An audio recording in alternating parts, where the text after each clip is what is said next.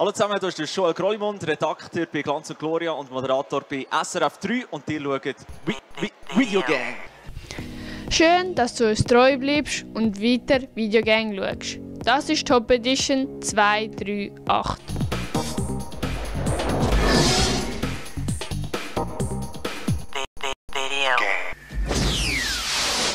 Der Verein Content Makers macht unter anderem, wie bekanntlich, die Jugendsendung Videogang und seit zwei Jahren organisiert sie Berufswahl Stage. Aber was ist denn Berufswahl Stage? Berufswahl Stage ist eine kleine Stage an der Berufsmesse Zürich, wo man einerseits mit Lernenden und Berufsbildnern über Berufswahl reden kann und andererseits findet immer wieder Interviews mit Promis statt, wie zum Beispiel mit dem Sandro Brotz, Niklaus Schatzmann und dem Joel Grollimund. Zudem hat am Samstag ein Talent Award stattgefunden. Kleine Ausschnitte davon siehst du jetzt. Das ganze Video findest du auf dem YouTube-Kanal Berufswahl Stage. Viel Spaß! Jetzt gehen wir live. Stage Talk. Hallo und herzlich willkommen an der Berufsmesse Zürich 2019 an der Berufswahl Stage. Heute haben wir einen ganz speziellen Gast, nämlich den Joel Grollimund. Stell dich doch mal vor an die, die es noch nicht wissen. Ja, äh, es freut mich, dass ich hier darf sein Ich bin ein ehemaliger Videogangster, das kann man am Anfang auch sagen. Ich äh, habe nämlich hier mal äh, selber auf, bin ich auf der anderen Seite gehockt. Mittlerweile bin ich Redakteur bei Glanz und Gloria und ähm, jeweils am Sonntag Moderator bei SRF 3 im Radio. Okay, es freut uns, dich hier zu haben. Ähm, wie fühlt es sich so an, auf der anderen Seite zu sitzen? Ja, noch ungewohnt. Also, äh, ehrlich gesagt, ich, ich habe lieber, wenn ich Fragen kann stellen kann, als wenn ich sie muss beantworten muss. Aber es ist auch immer wieder gut, mal auf der anderen Seite zu hocken. Ähm, ja, es gibt auch immer wieder Erfahrung. Ja, es ist ja auch ein Abenteuer, man weiß nicht, was für Fragen gestellt das werden. Das ist es eben genau, ja. ja. Ähm, du bist in deiner Karriere schon ziemlich weit gekommen, hast selber schon gesagt, du hast bei Videogang quasi auch schon eine Erfahrung gesammelt. Wie ist denn dieser Verlauf abgelaufen? Was, wie hast du angefangen? Ja, also ich immer so ein bisschen wollen, Richtung Fernsehen und Radio, ähm, aber man kann ja leider keine Lehre machen äh, in diesem Bereich. Mhm. Darum habe ich mal eine ganz normale Lehre gemacht, Detailhandelsfachmann bei der Post, also am Schalter, habe mit den Leuten, das, das ist einfach so ein bisschen der, gleiche Nenner gewesen, es ist auch um Kundenkontakt gegangen, mit Leuten zusammen etwas machen und nach der Lehre, und nebenbei natürlich ein Videogang gemacht und so ein bisschen mhm. Jugendradio. Und nachher habe ich einfach mal gekündigt nach der Lehre, die abgeschlossen und habe das Praktikum gemacht beim Radio und dann äh, ist das Schritt für Schritt immer weitergegangen. Dann bin ich mal zur Radio Energy, habe dort noch dringend Journalistenschule gemacht und mhm. irgendwann bin ich nachher bei Glanz und Gloria gelandet.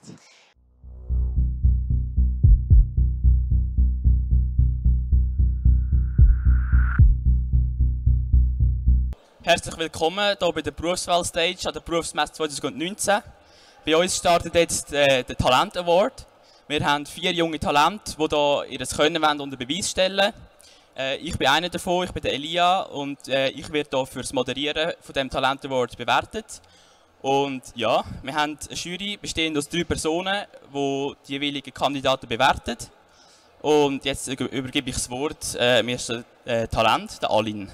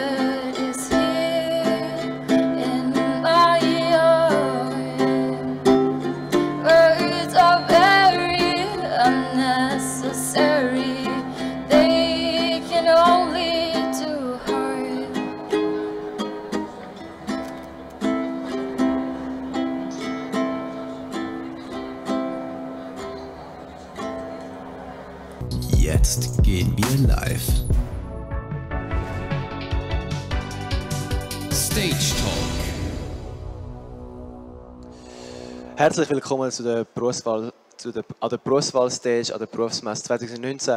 Vor mir ist der Dr. Niklaus Schatzmann. Stellen Sie sich doch kurz vor.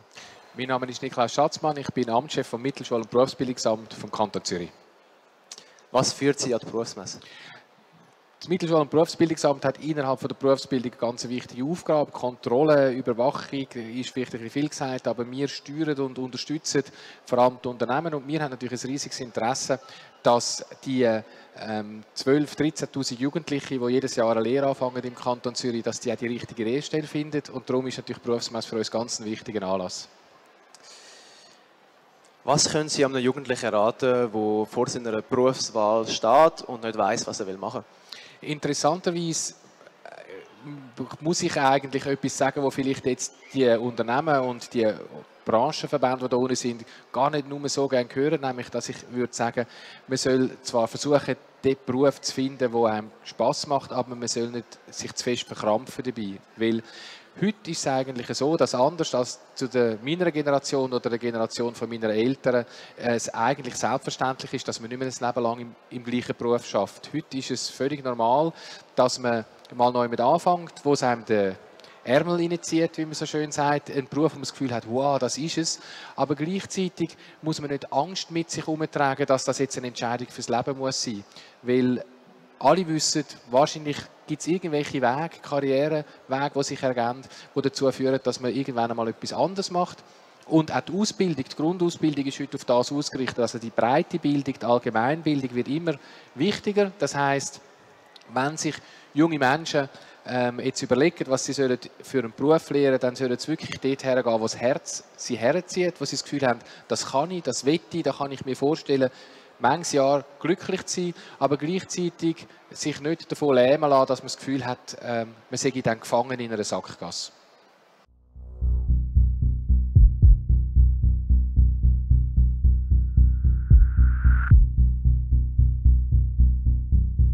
kommt jetzt unser zweiter Kandidat, der Lersu, und er probiert euch zum Lachen zu bringen. So, salut zusammen. Äh, ich bin der frittierte Lersu und ihr hört sicher alle schon mit dem Dialekt an. Ich bin waschechter äh, Zürcher, also Deutsch sollte auch noch können. Nein, auch äh, ich komme aus Bern, respektive aus dem wunderschönen Emmental. Also bei uns wird gemauchen, bei uns werden Hühner gerupft und bei uns werden einfach Kühe, die Kühe ist einfach Leben. Und bei uns sagt man das einfach ganz einfach, wenn man dort wohnt und das Sachen macht, ist man eidgenössisch diplomiert, Schafsnippelpräparator und so kann man mir auf jeden Fall auch sagen.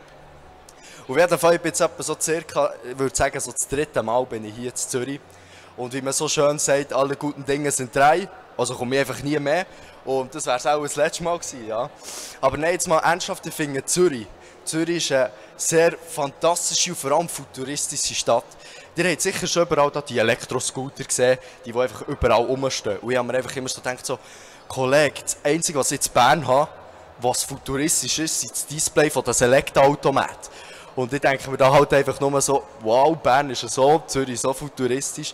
Und ich habe mir mal so gedacht, also, ich glaube, ich nehme mal so, so einen Scooter hey. Ich nehme mal einfach so einen hey und schweiße in einen Keller, weil dort haben sie keinen GPS-Empfang, wie bei uns im Fall. Und nach ein, zwei Monaten denken sie sich, ja, der ist auch verloren gegangen oder was auch immer. Und ja, ich bin, komme von Bern, ich habe kein Velo, aber dafür jetzt ein Scooter. Und ich glaube, wenn das so weitergeht, dann komme ich gleich noch ein paar Mal mehr auf Zürich. Herzlich willkommen zurück zu der Berufswahlstage an der Berufsmesse Zürich 2019. Vor mir ist der Sandro Brotz. Stell dich doch kurz vor. Solidaria, danke für die Einladung. Einmal mehr. Wir sind ja schon fast ein eingespieltes Team, oder? Bin gespannt, äh, was für Fragen das mal kommen. Ich soll mich vorstellen. Genau. Wenn der Roger Schawinski hat mir gesagt, wer bist du eigentlich? äh, ich bin einer, der seinen Job schon ein paar gerne macht, äh, der mit Leidenschaft das macht, was er macht. Ich bin das Jahr 50 geworden, habe einen Sohn, der 15 ist, der auch schon mal da in dieser Berufswahlmesse war. Und äh, ja, bin gespannt, was du für Fragen hast. Viele Leute kennen dich ja aus dem Fernsehen von SRF und du hast ja seit kurzem äh, die Show Arena übernommen, die Sendung Arena übernommen. Wie ist es dazu gekommen? Dazu ist es gekommen, dass der Jonas Breuer gefunden hat, er verlässt das Haus und geht zu Blick TV und dann ist die Stelle äh, frei gewesen und offen gewesen. und dann hat es das gegeben, was es immer in so einem Fall gibt, äh, ein Casting, wo verschiedene Bewerber eingeladen worden sind, dort äh, zu zeigen, ob sie das könnten machen und am Schluss hat man auch zu meinem eigenen Erstaunen gefunden, jawohl, du sollst es machen. Was gefällt dir besser zu der Rundschau vorher? Es ist eine größere Fläche an Zeit. Also die Arena ist 70 Minuten, die Rundschau war vorher 40 Minuten gewesen, mit einem Interview face to face 10 Minuten. Jetzt habe ich 70 Minuten Zeit, um zwischen 5 und 12 Gäste im Studio zu befragen, wo man nicht immer weiß, in welche Richtung das es geht. Also das Unvorhergesehene ist eigentlich das, was in so einer Sendung auch den Reiz ausmacht. Wird die aufgezeichnet oder ist sie live? Gestern Abend ist sie live ausgestrahlt worden, darum habe ich noch ein bisschen kleine Äugel. Äh, aber es wird immer live on Tape aufgezeichnet, etwa um halb sieben. Das heißt, es wird aufgezeichnet und nachher genau so, wie Gespräche verlaufen sind, auch ausgestrahlt. Also es wird nichts dran geschnitten, alles an einem Block. Auch wenn einmal, wie zum Beispiel gestern Abend, im Live, wenn es plötzlich jemandem schlecht wird im Publikum, wo man dann muss rausführen muss, äh, hat man natürlich dann nicht im Bild, aber man nimmt es ein bisschen wahr. Das bleibt alles in der Sendung drin. Was hat das für Schwierigkeiten, wenn man so eine Sendung live oder live on tape aufnimmt? Schwierigkeiten? Es gibt keine Schwierigkeiten, es gibt nur Herausforderungen. Und das ist, dass du für dich selber einen Ablauf machst, wie es etwas aussehen in diesen 70 Minuten. Also, was für Blöcke hast du, was für Themenschwerpunkte, was etwa für Schlüsselfragen. Und eigentlich ist mein Job, der ständig zu entscheiden, was mache ich jetzt als nächstes. Also ich muss zuhören, gleichzeitig in den Augenwinkel wahrnehmen, wo die andere Person sich dazu äußern, Zeit im Griff zu haben, also hat links so viel geredet wie rechts. Und äh, habe ich die Themen und die Fragen gestellt, die ich wirklich wollte stellen.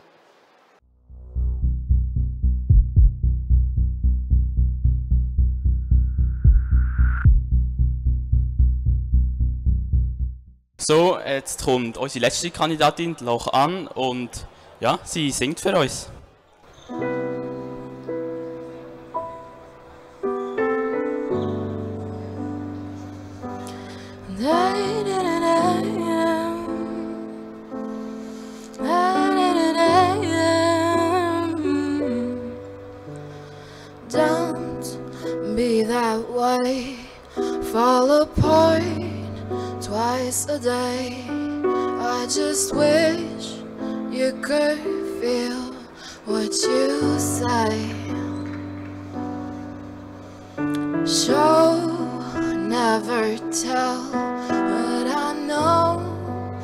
You too well. Kind of mood that you wish you could sell. If teardrops could be bottled, there'd be swimming pools filled by models. Total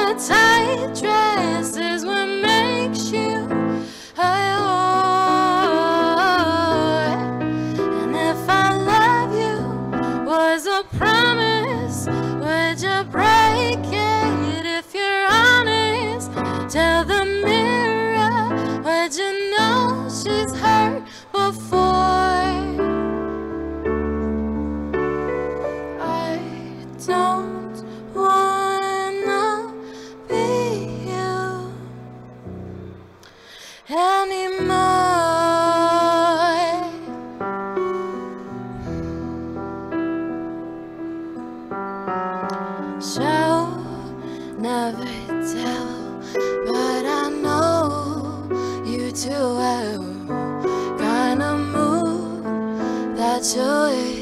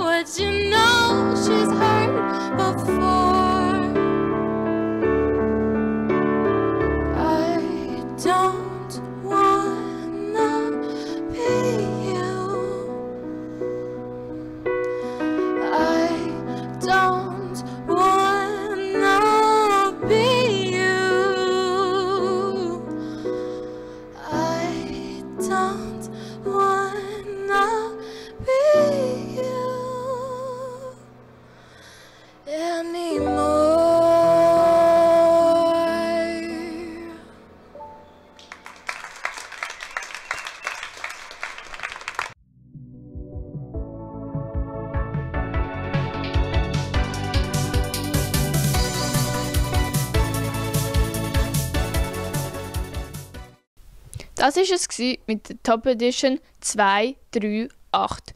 Du willst ein Interview ganz anschauen, dann kannst du einfach auf den YouTube-Kanal Berufswahl Stage gehen und dort alle Interviews anschauen.